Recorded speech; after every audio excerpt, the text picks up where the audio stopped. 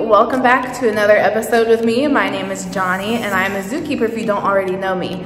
Today, we're actually gonna be talking about hornbills.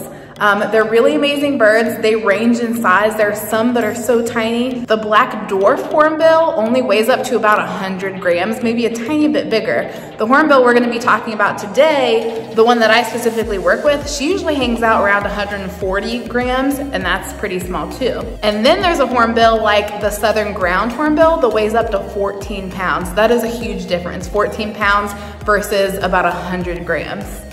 So the most distinctive feature of a hornbill is that bill. They're known for having this super big bill on their face, especially for the size of the bird. It's massive and they need that bill for things like fighting or preening, which just means they're grooming themselves or maybe another bird um, for constructing their nests and catching prey because a lot of these birds will actually eat small animals. So the one that we're gonna meet today is a Von der Decken's hornbill.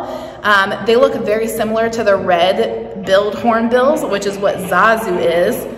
She's being super noisy over there. And she, like I said, only weighs about 140 grams. So they look almost like that red-billed hornbill. And the males actually do have red bills.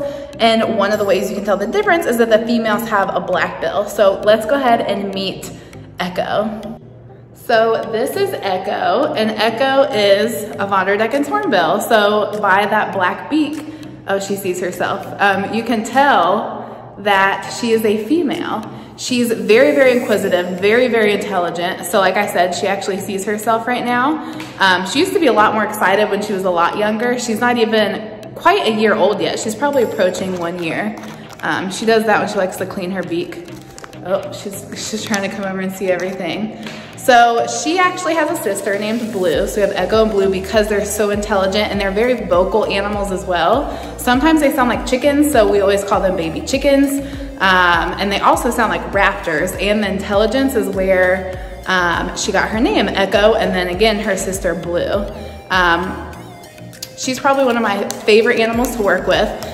I've been working on flying her, so she's excellent at flights. She loves to fly to this perch. Um, and then to my hand, she also can catch worms. Um, I don't know if I have any really good footage of her catching worms in the air, but if I do, I will put them in. Um, so she can see pretty well too. They have binocular vision, which allows them to eat some of those insects that they like to eat. So she really likes mealworms.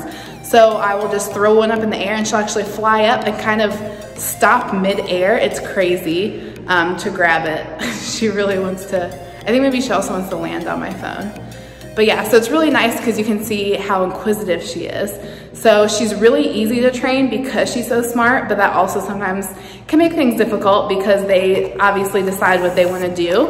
And if she's very intelligent, she can make even more decisions. So she's tons and tons of fun to work with and to be able to train. She also has this behavior where she dust bathes. A lot of birds will dust, take a dust bath or take like a dust bath in dirt. For some reason, she will not do that in dirt or dust or even chinchilla dust, but if she gets brown, brown cardboard or like a paper bag or something like that, she will actually bathe in it. So I'll show you guys that behavior. Um, I'm trying to catch it. She does it pretty much anytime she has any. So once she actually can go on programs, it'll be really nice to be able to show that behavior because she likes to do it so much. So like I was saying before, she does look a lot like Zazu. They are a different species. She's a Von der Decken's hornbill, um, around the same size as the red-billed hornbill, and I will actually post a picture right now showing a male Von der Decken's hornbill, which is gonna look a lot different than her because it's actually gonna have a red bill versus an actual red-billed hornbill. Um, so here are those pictures now. So you can see all the differences. They're both beautiful birds. A lot of times people that are familiar with hornbills are more familiar with the bigger ones, um, like the rhinoceros hornbills that are beautiful. They have really bright colored bills. Um, but she has her nice little black bill, but she has beautiful coloration. Um, she decided to go somewhere else, which is fine. She actually has a little bit of blue kind of down in an area where she doesn't have feathers, which is normal for them. Um, and I'll try to see if I can find a picture or maybe an older video where you can see that really well because it's really hard to find. But again, she's one of my favorite animals to work with. She's not even a year old. I'm gonna have to find out when her actual birthday is. Again, so smart. I know I'm just repeating myself. Um, but if you guys have any other questions about hornbills or Von der Decken's in general, thankfully they're not endangered or anything like that, but she is small. Those are definitely birds that I'm sure are involved in the pet trade. But animals like that, they could be doing fine, but then all these people really want them as pets and people start taking them illegally out of the wild. And then you end up with a situation where all of a sudden they're endangered due to the pet trade. So earlier I had mentioned she really likes to take dust baths and we've offered her chinchilla dust baths. Most people know what chinchillas are, but that is one example that almost went extinct due to the pet and the fur trade because so many were being taken out of the wild.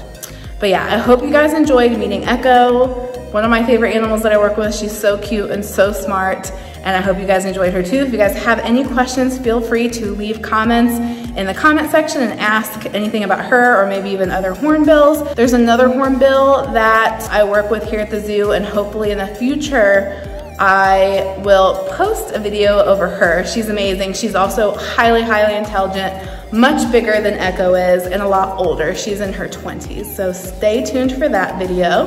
And don't forget to like and subscribe, and I will see you guys next time.